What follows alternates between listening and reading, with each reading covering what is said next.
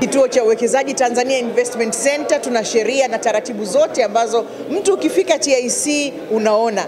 Kwa hiyo tunawakaribisha Warusi na wageni wote wa nje foreigners waje wawekeze Tanzania, iwe ni afya, iwe ni elimu, iwe ni miundombinu. Kwa kweli sisi milango iko wazi, waje tu shirikiane.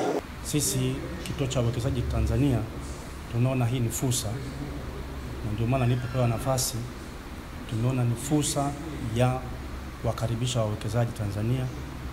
Tumeona ni fursa ya kuonyesha fursa tulizo nazo, lakini tumeona hii ni fursa ya kuwaambia ni kwa nini waje wawekeze Tanzania. Kongamano linahusu masuala ya elimu na afya, na kwenye afya tunahitaji uwekezaji, uwekezaji wa viwanda vya madawa, uwekezaji kwenye mahospitali, lakini kwenye elimu pia tunahitaji uwekezaji wa aina hiyo.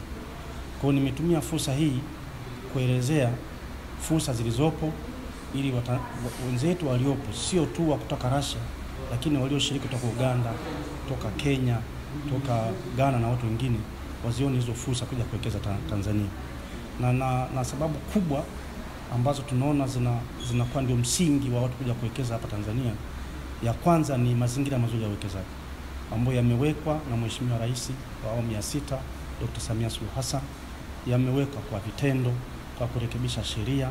Sasa hivi sheria zinaruhusu uwekezaji hata wa ndani, lakini amebadilisha mifumo mbalimbali katika utawala ambayo imekuwa ya kuvutia kwenye uwekezaji.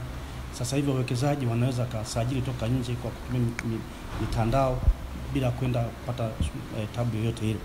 Lakini la pili e, kwenye uongozi wake bora na siasa safi kumesababisha kuwepo na amani na utulivu, hitajio la msingi sana katika uwekezaji. Na la tatu, tunazo fursa, kwa sababu unaweza kuwa na amani, unaweza kuwa na utulivu, lakini kama fursa huna, huwezi kupata wawekezaji.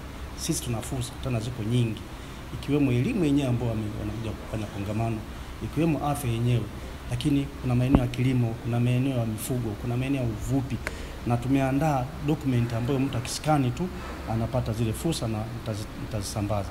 Lakini tumesema vile vile, sababu ya tatu ni uwepo wa miundombinu. Miundombinu ya barabara rafiki, umeme rafiki, ardhi, vyote hivyo tunazo sababu za kuwakaribisha wawekezaji waje Tanzania, na msingi mmoja mkubwa ni wa utayari wa Watanzania kupokea wageni kwa ajili ya uwekezaji.